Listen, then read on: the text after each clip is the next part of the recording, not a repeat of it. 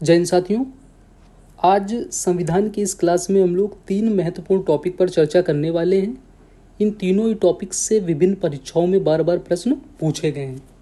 साथियों, अगर आप इस चैनल पर नए हैं तो चैनल को सब्सक्राइब कर लें और बेल आइकन को दबा दें, ताकि क्लासेस से जुड़े अपडेट आपको मिलते रहें। तो आइए देखते हैं आज के हमारे क्या हैं टॉपिक जो पहला हमारा टॉपिक है, वो है संविधान के भाग। इससे परीक्षा में प्रश्न पूछे गए हैं, जैसे इस तरह से पूछ लेगा, भाषा किस भाग से संबंधित है? ऑप्शन दे देगा सत्रह, अठारह, उन्नीस, बीस और आपको एक ऑप्शन टिक करना रहेगा। दूसरा जो आज का हमारा टॉपिक है, वो है अनुसूचियाँ। एक से बारह तक अनुसूचियाँ हैं इनसे भी बार बार प्रश्न पूछा गया है। छोटा सा टॉपिक है। मुश्किल से पाँच से सात मिनट में कंप्लीट हो जाएगा। और तीसरा जो हमारा है टॉपिक वो है महत्वपूर्ण संविधान संशोधन। दोस्तों टॉपिक को स्टार्ट करने से पहले एक शब्दावली को स्पष्ट कर दूँ, क्योंकि बार बार सी ए का आगे टॉपिक में ज़िक्र आएगा तो उसको पहले स्पष्ट कर दूँ। सी ए का मतलब होता है कॉन्स्टिट्यूशन अमेंडमेंट एक्ट यानी संविधान संशोधन अधिनियम। तो आइए, आज का अपना पहला टॉपिक देखते हैं, संविधान के भाग।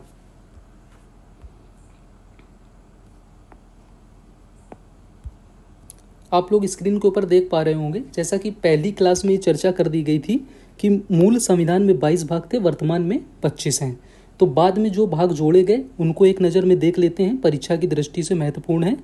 जो पहला है हमारा, वो है भाग चार ए, इसको कब जोड़ा गया? बयालीसवां संविधान संशोधन उन्नीस सौ छिहत्तर में जोड़ा गया। क्या था इसमें? मौलिक कर्तव्य। दूसरा है भाग नौ ए, इसको कब जोड़ा गया? चौहत्तरवां संविधान संशोधन उन्नीस शहरी स्थानीय सरकार। तीसरा है भाग नौ बी, सत्तानवे संविधान संशोधन 2011 सहकारी समितियाँ। चौथा है भाग चौदह ए, बयालीसवां संविधान संशोधन उन्नीस सौ छिहत्तर, इसमें क्या है? ट्रिब्यूनल यानी कि अधिकरण। दोस्तों, मूल संविधान में कुल 22 भाग थे और बाद में चार जोड़े गए तो टोटल कितने हो गए? 26 हो गए। लेकिन हम यहाँ कितने देख रहे हैं? 25 तो ये 25 क्यों हैं? आगे अभी आपको लेक्चर में पता चलेगा।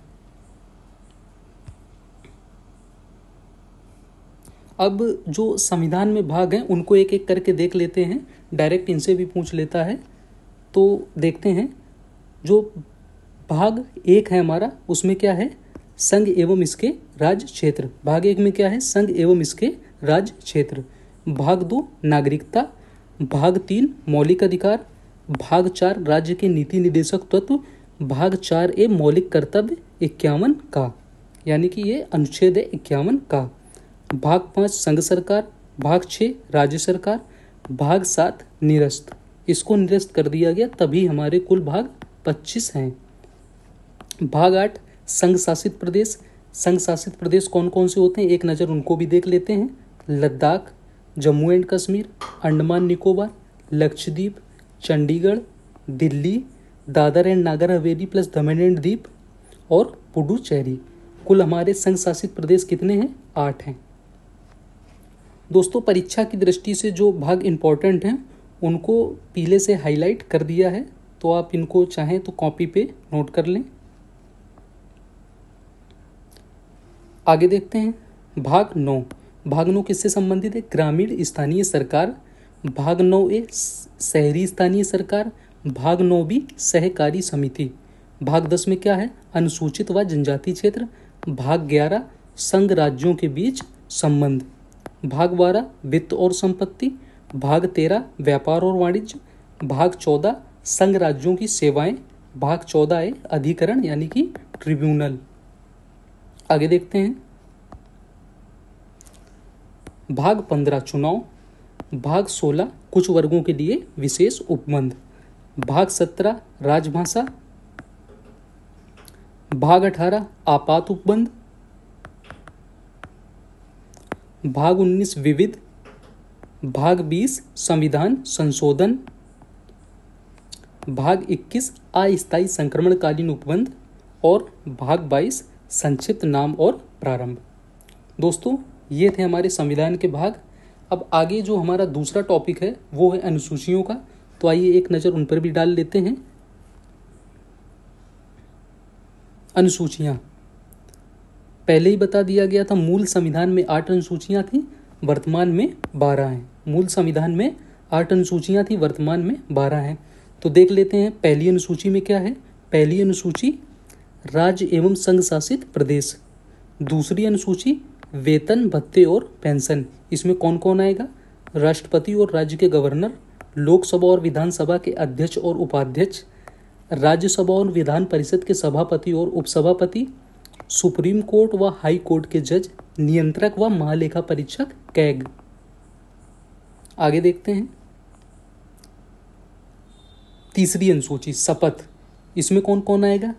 संघ व राज्य सरकार के सभी मंत्री, सांसद, लोकसभा राज्यसभा के, एमएलए, एमएलसी, विधानसभा और विधान परिषद के, हाई कोर्ट व सुप्रीम कोर्ट के जज, नियंत्रक व महालेखा परीक्षक कैग। चौथी अनुसूची, राज्यसभा में सीटों का आवंटन। यूपी में राज्यसभा की सीटें इकतीस हैं। इंपॉर्टेंट है नोट कर लीजिएगा। पांचवी अनुसूची, अनुसूचित क्षेत्र तथा अनुसूचित जनजातियों के प्रशासन और नियंत्रण से संबंधित है। छठवीं अनुसूची, असम, मेघालय, त्रिपुरा, मिजोरम के जनजाति क्षेत्रों का प्रशासन और नियंत्रण। आगे देखते हैं। सातवीं अनुसूची सातवीं अनुसूची जो है वो सूचियों से संबंधित है। सूचियाँ कितनी हैं? तीन। कौन कौन सी? संघ सूची, राज्य सूची संवर्ती सूची। इनको जब आगे क्लास करेंगे तो इनको और विस्तृत में पढ़ेंगे कि इनमें कौन कौन से विषय हैं। उनको सभी विस्तृत रूप से पढ़ेंगे। यहाँ केवल इतना जान ले रहे हैं कि सातवीं अनुसूची सूचियों से संबंधित है। आठवीं अनुसूची भाषा से संबंधित है। मूल संविधान में चौदह भाषाओं को मान्यता प्रदान की गई थी। वर्तमान में बाईस भाषाओं को मान्यता प्रदान की गई है। और ये इंपॉर्टेंट है कि अंग्रेज़ी को बाईस भाषा में शामिल नहीं किया गया है। अभी जो वीडियो 2018 वाला 2023 में पेपर हुआ है, उसमें भी ये प्रश्न पूछा गया था। नववीं अनुसूची भूमि सुधार से संबंधित है। इसको पहला संविधान संशोधन करके उन्नीस सौ इक्यावन में जोड़ी गई। दसवीं अनुसूची दल बदल कानून एंटी डिफेक्शन लॉ दसवीं अनुसूची दल बदल कानून से संबंधित है। इसको कब जोड़ा गया? बावनवा संविधान संशोधन करके उन्नीस में जोड़ा गया। जो हमारी ग्यारहवीं अनुसूची है, वो पंचायतों की शक्तियों से संबंधित है इंपॉर्टेंट है ये। और इसको कब जोड़ा गया? तिहत्तरवां संविधान संशोधन करके उन्नीस सौ तिरानवे में जोड़ा गया। अंतिम बारहवीं अनुसूची, इसमें क्या है? नगर पालिका की शक्तियाँ इसको कब जोड़ा गया? चौहत्तरवां संविधान संशोधन उन्नीस सौ तिरानवे में जोड़ा गया। दोस्तों, आज के जो हमारे तीन टॉपिक थे, संविधान के भाग, अनुसूचियाँ और महत्वपूर्ण संविधान संशोधन, तीनों ही समाप्त हुए। इस मुश्किल से दस मिनट की क्लास में आपको बहुत ही ज़्यादा कंटेंट प्रोवाइड करा दिया गया है, जो परीक्षा की दृष्टि से बहुत ही इंपॉर्टेंट है। तो साथियों क्लास का जो फीडबैक है, वो कमेंट सेक्शन में देना ना भूलें। मिलते हैं अपनी अगली क्लास में। तब तक के लिए